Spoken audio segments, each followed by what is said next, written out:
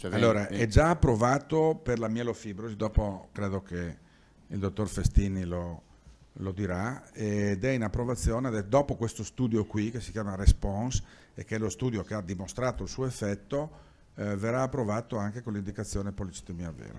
Ma in- in- adesso come adesso può essere prescritto da Oggi no. uno specialista? Può no? essere prescritto, ma se lo deve pagare. Ah, va bene, capito. Sì. No, va bene nel senso che... O non so se può, può No, essere allora, può essere diciamo che il, farma- il farmaco è in approvazione. È in Oggi, approvazione. oggi non si può prescrivere. Ecco. Oggi non si può prescrivere, lo sarà probabilmente nell'arco di eh, qualche settimana con delle indicazioni specifiche, non per tutti i pazienti con policitemia vera. Sarà indicato per i pazienti con policitemia vera che hanno fallito una precedente terapia con idrossiurea. Quindi non il Eh. paziente di nuova diagnosi, ma un paziente con alcune caratteristiche particolari durata del farmaco, eh, dose del farmaco, tolleranza al farmaco, quindi eh, è un'opzione per alcuni pazienti e come tutti i farmaci verrà utilizzato inizialmente probabilmente in un numero ristretto di pazienti, come è stato per la mielofibrosi, come è stato per tutti i farmaci di nuova, viene, viene utilizzato prima in un subset, quindi in un gruppo molto specifico di pazienti e poi se sarà efficace, sicuro e quant'altro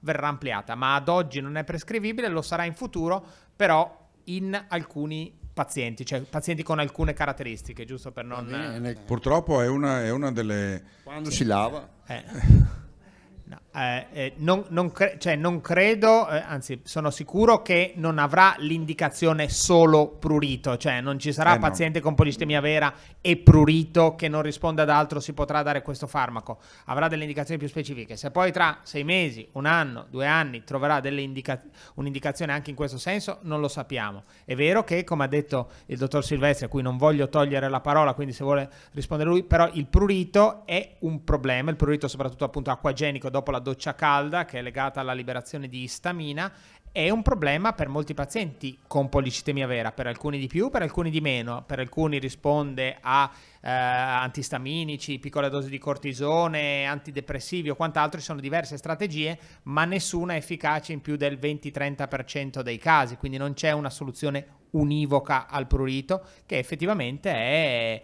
è un problema serio nei pazienti con policitemia vera.